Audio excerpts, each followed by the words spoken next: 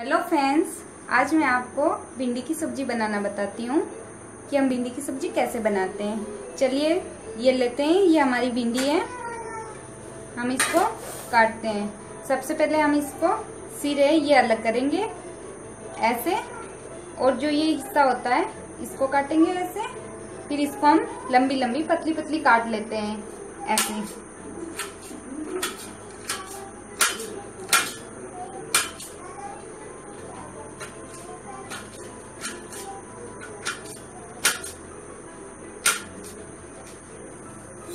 ऐसे करके हम एक एक करके सारी भिंडी को कट कर लेंगे। ये हमारी भिंडी कट के तैयार हो गई है। अब हम इसमें क्या क्या डालेंगे? एक टमाटर लेंगे, एक प्याज और दो हरी मिर्ची लेंगे। वो हम कटिंग कर लेते हैं। जैसे हमने भिंडी लंबी लंबी काट रखी है, उसी हिसाब से हम टमाटर भी लंबे काटेंगे और प्याज भी लंबे काटेंगे, ताकि कुकिंग प्रोसेसिंग एक साथ हो जाए। इसी शेप में काटेंगे टमाटर और प्याज। देखिए।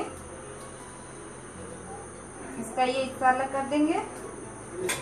इसको पहले दो हिस्सों में ऐसे काट लेंगे। पतली पतली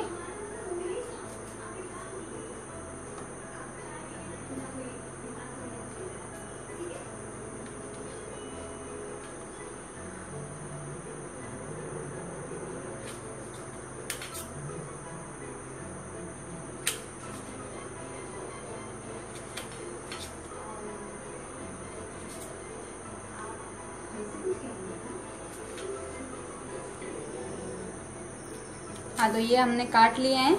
टमाटर भी इसी टाइप के काट लिए हैं। पतले पतले लंबे लंबे प्याज भी हमने बड़े बड़े लंबे काटे हैं पतले पतले अब सारी सब्ज़ी हमारी कट के तैयार हो गई है। तो चलो हम बनाते हैं सब्ज़ी को। सबसे पहले हम गैस ऑन करेंगे। गैस ऑन होकर कढ़ाई चढ़ाते हैं।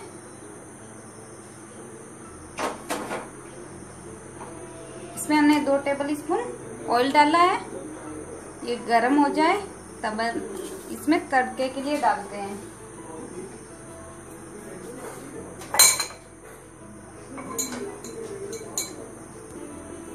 ये हमारा तेल गरम हो गया है। सबसे पहले हम इसमें अदरक डालेंगे। कुछ कुटी हुई अदरक है ये। ये थोड़ा लहसुन है। ये कुटा हुआ ये डालते हैं। एक स्पून का डालते हैं। एक स्पून जीरा डालते हैं। ये तेज पत्ते हैं। और अब हम इसमें ये कड़ी पत्ते हैं, जो मार्केट में इजीली अवेलेबल है। हम वो डालेंगे।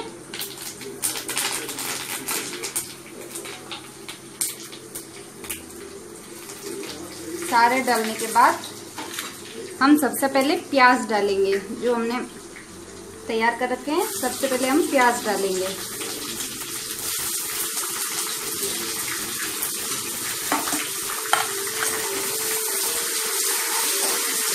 प्याज को हमने इतना अच्छे से भुनना है, जब तक इनका गोल्डन कलर नहीं हो जाए, एकदम लाइट पिंक कलर तब तक हम इनको भूनते रहेंगे। हमारा प्याज जितना अच्छा भुना जाएगा, उतनी भी सब्ज़ी अच्छी बनती है। तो हम इसको एक प्यारा सा कलर आने तक भूनेंगे। ये प्याज का कलर एकदम देखो पिंक कलर हो गया है। एकदम अच्छे से पिंक कलर आ गया है प्याज का। इसके बाद हम भिंडी डालेंगे इसके अंदर। देखिए, इसके बाद हम ये, इसके अंदर भिंडी डाल देंगे। भिंडी को भी हम जब तक पकाते रहेंगे, ये अच्छे से पकेगी तो इसमें जो लाल होती है वो नहीं निकलेगी। इसको भी हम अच्छे से पकाएँगे। देखिए, ये भिंडी पक चुकी है अब। अब इसके अंदर हम टमाटर डालेंगे। ये टमाटर की स्लाइड है, ये डाल दिए। पाँच मिनट टमाटर को मिलाएँगे इसके अंदर। पाँच मिनट हो गए। अब हम इसके अंदर मसाले डालते हैं। जो हमारे सूखे मसाले होते हैं, वो डालते हैं हम।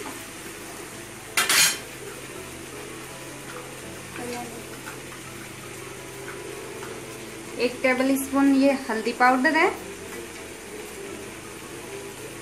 एक टेबल स्पून ये धनिया पाउडर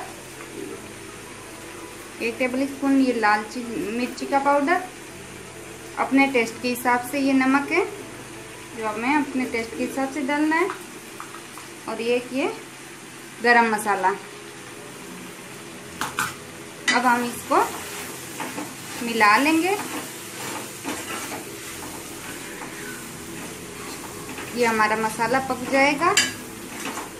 अब हम इसके अंदर थोड़ा सा नींबू का रस डालते हैं। नींबू अब देखिए, ये सब्ज़ी चारों तरफ़ से तेल छोड़ना शुरू कर दिया है। जब हमारी सब्ज़ी में तेल दिखने लगता है, तब समझ लीजिए कि हमारी सब्ज़ी बनके तैयार हो गई है। ये साइड साइड में हल्का हल्का तेल निकल रहा है। इस स्टेज पे हम क्या करेंगे? गैस बंद करके ये नींबू का रस है, एक टेबल स्पून ये डालेंगे।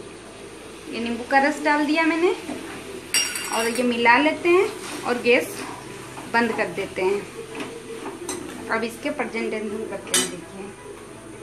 इसके लिए